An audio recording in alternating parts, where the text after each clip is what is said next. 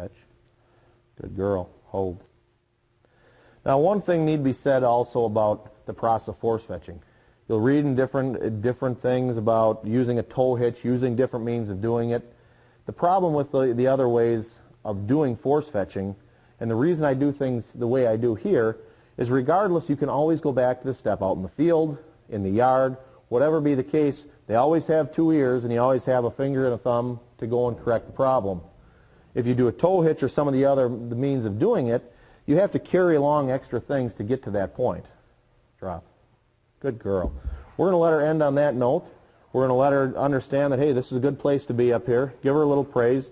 See, we still don't have a, ear set up that shows that she's okay with it.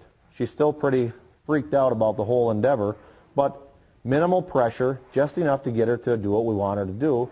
And the next time she comes out, the last thing she'll remember is a bumper in her mouth, mouth she got praise, so we can start off right on the next foot. Now this is Lacey. Uh, she's about 10 or 11 month old chocolate lab. She's been through a little bit of the force fetching process, but she's a whole different dog than the last dog we showed you. We're going to show you a little bit more in progression about what a dog will do once they've got past the point and the breakdown point of not opening their mouths, you know, taking the pressure. This dog is very soft also, but as the other dog could take pressure and take pressure and take pressure and she still wouldn't open her mouth, see how this dog's starting to get into the mode where she's tilting her head back, she's dropping her ears. She already uh, associates the force fetching table with work, but what she's going to start doing is trying to find ways to eliminate having to do it. This dog can do a great job or she can be what I call a quitter. The quitters are the ones that decide they're not doing it regardless of what the costs are. Now, we're not going to change anything more than stay with the ear pinch because that's the point this dog is at. But see how she starts putting her feet up on me?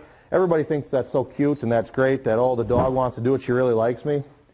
It actually is telling you the dog is trying to eliminate having to do any work.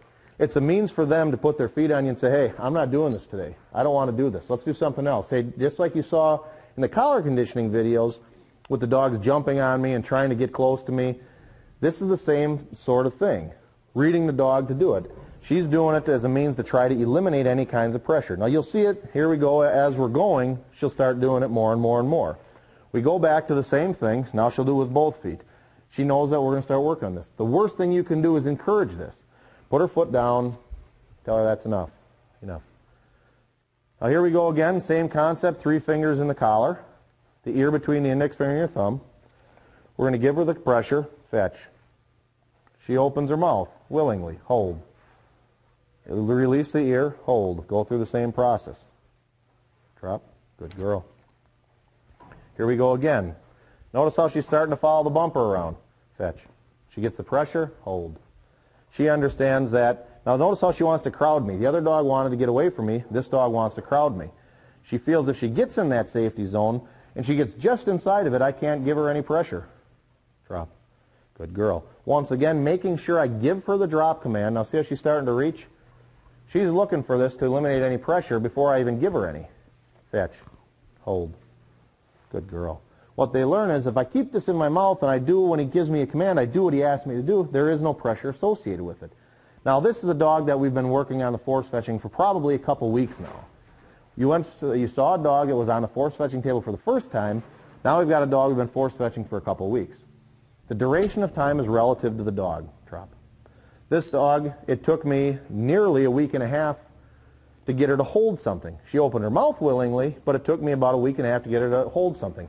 Now she understands, hey, I can eliminate pressure by grabbing what you know I've got in my hand here. Now the thing is, if you notice, I'm kind of keeping away from her. If you notice the intensity of the dog is, is increasing, she wants it. Fetch. Hold. Good girl. And notice she's getting even a little bit looser. She's not quite so subdued. Good girl. Drop. But she's in that work mode. Here we go with the feet again. We keep away from that.